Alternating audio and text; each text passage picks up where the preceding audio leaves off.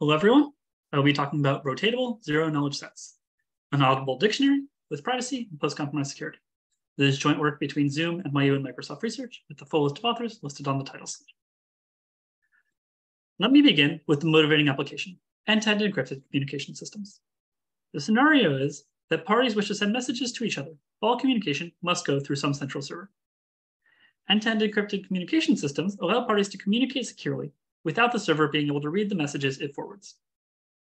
It's used for all sorts of messaging, such as Zoom, WhatsApp, Teams, yada, yada, yada. And the most common solution is to use public key encryption. However, to use PKE, users need to know each other's public keys. If the server were to simply host a database of public keys, that opens up the possibility of man-in-the-middle attacks, where the server would respond with a compromised public key. A common solution to this is to have security codes, where users directly share a short code, for example, the hash of their public key, which can be checked manually by other users. However, this is you know, tedious and inefficient, and so we may want to automate this process, which we can do using a key transparency system, otherwise known as an auditable dictionary. In a key transparency system, the server provides a commitment to the database and a proof pi for each query that the identity public key pair returned is in fact stored in the committed database. As long as all users agree on the commitment, man-in-the-middle attacks are detectable by users checking that their own public key has been stored correctly. The database may also change over time, and we don't want users to have to check their public key stored correctly after each update.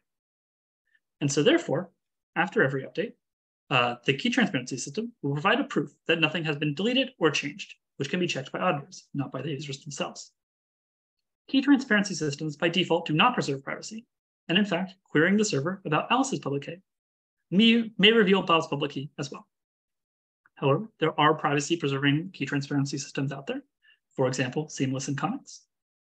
But these solutions do not satisfy post-compromise security. In fact, when the server is compromised, it is clear that the full database at that time must be leaked. But it is not necessarily the case that all new public keys added later on must also be leaked. In existing solutions, if the service state for, say, commitment one has been leaked, then privacy is also lost for all future commitments.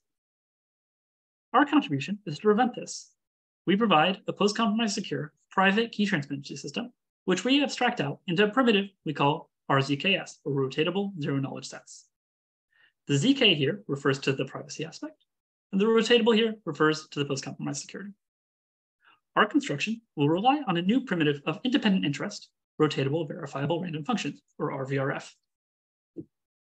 In short, an RVRF is a verifiable random function with the additional ability to update the public key. When the public key is updated, for every previously queried output, the rotatable verifiable random function provides the new output and a proof that both outputs came from the same input. Notably, the rotation proof must not leak any information about the inputs themselves. For full details, read our paper or come to my talk Wednesday, December 7th at 12.03 p.m.